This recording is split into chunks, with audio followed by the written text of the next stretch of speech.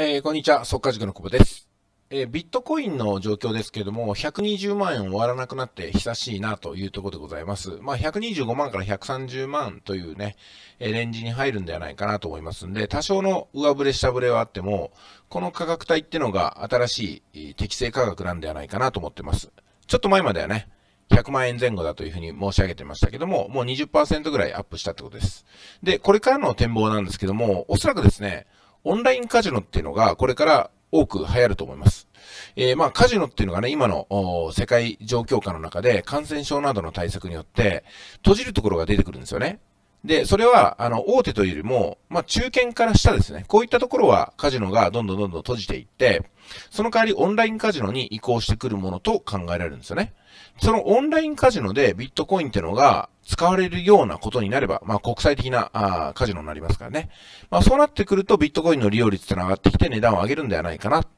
というふうな予測をする人が増えるんで上がると思います。実際にカジノがオンライン化されるのかどうかってことと、カジノっていうもののね、中堅以下がなくなるかどうかっていうのは、これまだわかりませんので、こういうところに振り回されないようにしていかなくてはなりませんけども、もう私のやってるのはね、単にテクニカルですから。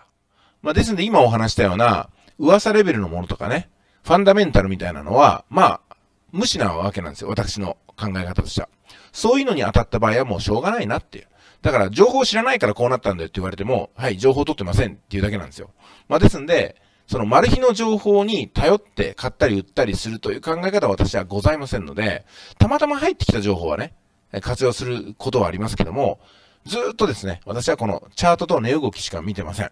えそれ以外の情報で上がったり下がったり、えー、まあ儲かったり儲かんなかったりするのはもうこれ仕方がないというふうにね、その辺は損切りしております。えー、ということでね、ビットコインに関しましては、これから利用率が上がるんではないかなってことをぼんやり思いますけども、そこに重きを置くんではなくて、あくまでもチャートを見ながらの予想になってきます。まあでも、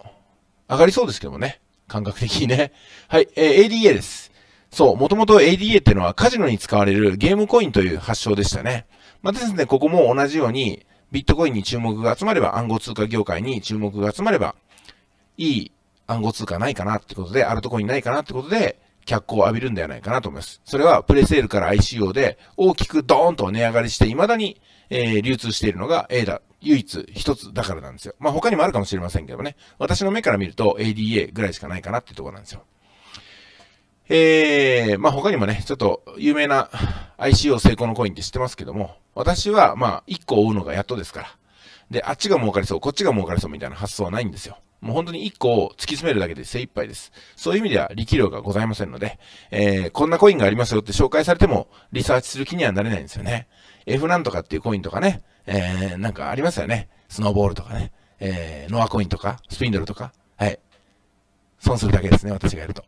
はい。A ではリップルですね。XRP なんですけども、こちらも30円終わらなくなって久しいわけですけども、まあ、たまにね、下振れする29円とか出るんですけども、まあでも30円以上の価格で押していくでしょう。で、私の平均取得単価43円なんで、まあそこまで行ってほしいなとは思うんですけども、なんか43円超えたら私売りますからね。おそらくね。トントンで売れば暗号通貨で損した銘柄は、あの、あれ以外 ないってことになりますから。なんで先も忘れましたけど、フォインですか。フォインっていうのをよく買いましたね、私もね。ほんとね、バカでしたね。えー、フォイン、やっぱね、進めてくる方との関係があったんで、買っちゃいましたよ。本当に、お恥ずかしい。で、大損しましたね。本当に。まあでもいいんですよ。うん。あの、やっぱり、その人のセンスで私に進めてくださったんでしょうし、あの、フォインで儲かる儲かんないプラス、その人との関係をどうしようかなってところで私も買ったところがありますんでね、紹介された方に、えー、一辺の恨みも、何もありません。本当にね、あの、良かれと思ってやってくれてありがとうってことですよね。まあ今日は具体的にいろんなコインの名前出ましたけども、皆さんのご存知のコインあったでしょうか。やっぱりね、私としては、えー、ADA 一本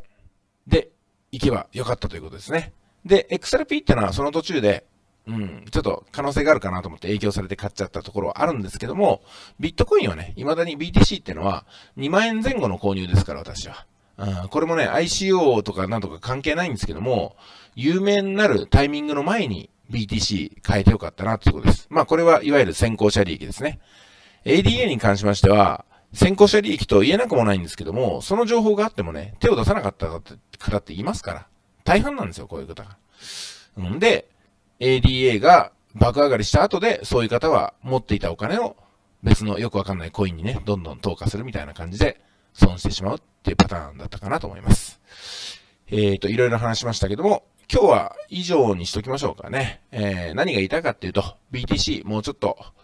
いっぱい買っとけばよかったなと。今から買う勇気はないですけども、大きく含み益を得ているということになります。XRP も紙頼みですね。まあ上がんなくてもいいけども、一つぐらい損しないとね。では失礼します。